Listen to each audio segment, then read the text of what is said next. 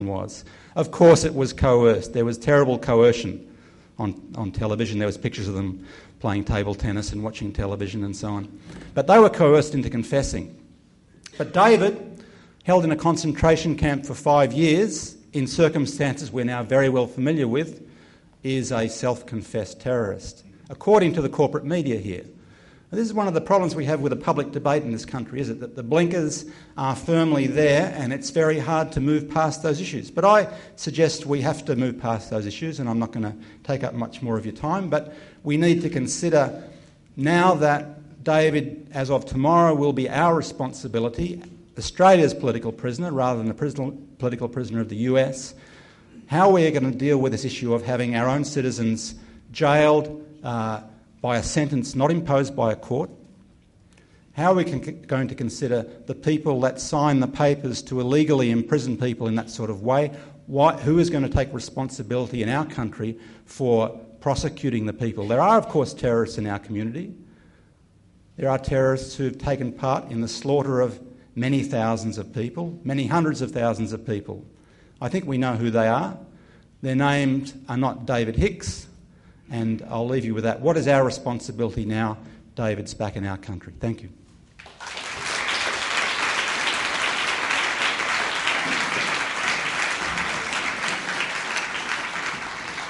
Thanks, Tim. Uh, next up, we have Omar Merhi, and as I mentioned earlier, Omar is the brother of Abdullah Merhi, who's one of the Barwon 13 who are currently being held um, on some trumped up terror charges in, in Melbourne. And I guess um, it's great to see um, Omar here this afternoon, but the importance of, of having people like Omar here today alongside Terry is to highlight, I guess, the importance of community campaigning in this um, so called war on terror. I guess make no mistake that the only reason, really, that David is finally back home is because of the work that Terry's been doing, but also the work of the of community supporters of various organisations and individuals who've continued to keep up the struggle to make sure that the political pressure is put on to, um, to bring David home. And similarly, um, around these um, terror charges that are against the men both in, in uh, Victoria and in Sydney, um, I think it highlights just how important it is that in the face of hysterical, blinkered media beat up, that there are um, people who continue to speak out against what the treatment of these men and against the so-called war on terror and how it's being waged at home. So please welcome Omar.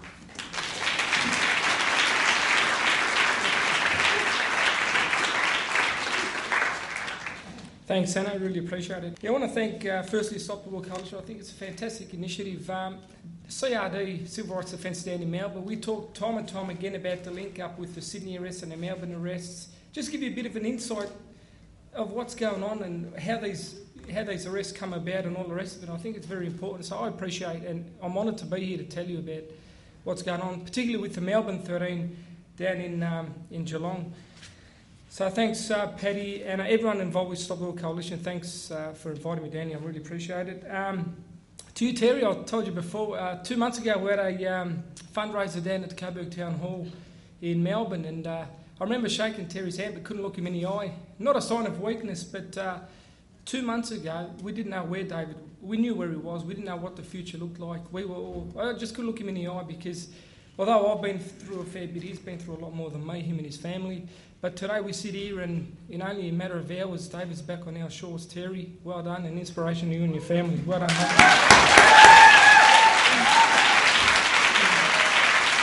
I got off the phone to my son, and I'm not lying, about half an hour ago, and he said to me, he's only seven years old, he's a bit depressed. He said, Dad, I only kicked one goal at Auskick this morning. He averages three every week. But he, and honestly, in a, in a really, in a lovely voice, he said to me, but Dad, can you say hi to David? He's cool. I said, David's not with us. It's his father, Terry, but David will be back with us soon. So um, my son's here too, although not physically, he's here in spirit anyway. Um, look, I just, like I said, I'll keep it fairly brief, but I really want to just give you a bit of an insight into the journey I've been through and um, how, I guess, cruel society can become towards Muslim people, particularly those families who have been involved because of the arrest that occurred in Melbourne. Um, there'll be questions later on if anyone's got any. Look, on November the 8th in 2005, at 2am, I received a call from my brother to say that he'd been arrested and he kept it fairly brief. I know he was under a bit of pressure, possibly handcuffed at the time. I don't know how he made the call, but anyway. Um, he had a helicopter hovering above his home. He had. Um, got to be very careful how I say things today because I'm on the brink of getting arrested, I think, for a few things I've said, but I'm pretty upfront and honest. There was uh, authorities there with guns, bulletproof vests, the, his street blocked off, 10 to 12 white cars. It was like a movie. Could not believe what was happening. I only know that he was arrested on terrorism charges. It was still, still to this day, it's pretty surreal, but um, went home, told my family and all that, and we all obviously had the day off. We made our way to the Melbourne Magistrates Court, and on radio, it was just frenzy. Um, imminent attack thwarted, violent jihad foiled. I could not believe it. And I named my brother, a few of my cousins, and a few family friends, and I knew this group of men. And I just still couldn't believe it. I thought, it just doesn't add up. We got to the uh, Melbourne Magistrates Court, there was easy 80 cameras. International media, how the hell did they know about it before the arrests? Uh, it was just out of control. We find out also that at the very same time arrests were carried out in Sydney.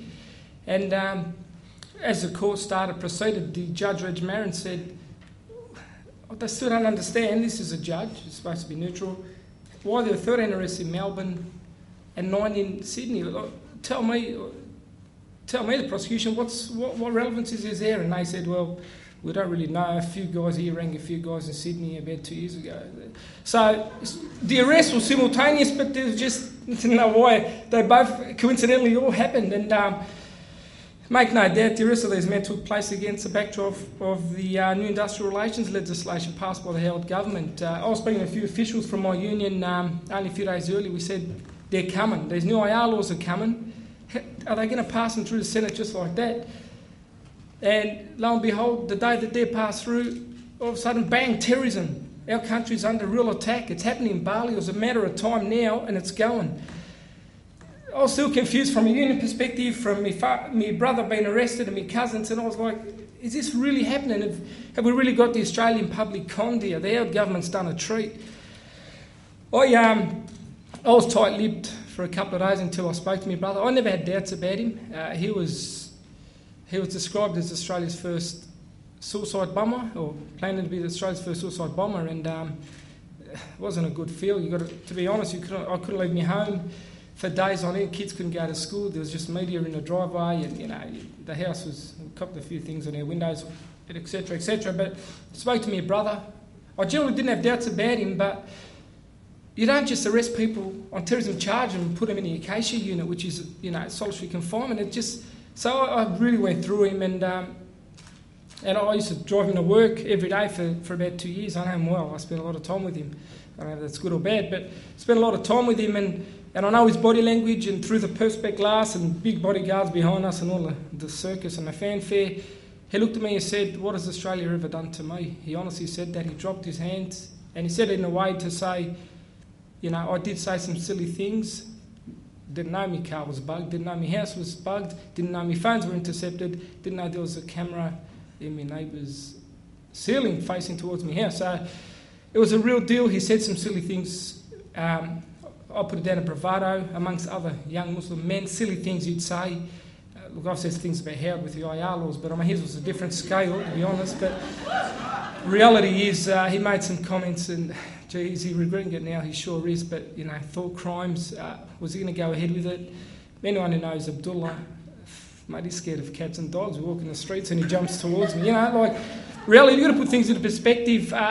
People are going to say, Of course, you're his brother. You're going to say that about him. He's an angel. He's brilliant.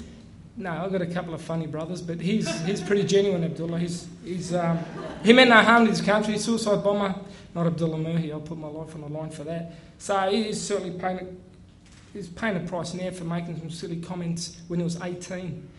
And that's sort of an age where we all sort of, most of us probably go a bit off the rails and then we wake up.